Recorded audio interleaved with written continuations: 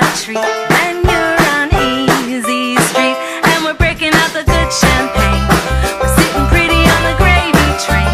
And when we sing, every sweet refrain repeats right here on Easy Street. It's our moment in the sun. And it's only just begun. It's time to have a little fun. And we're inviting you to come and see why you should be on Easy Street.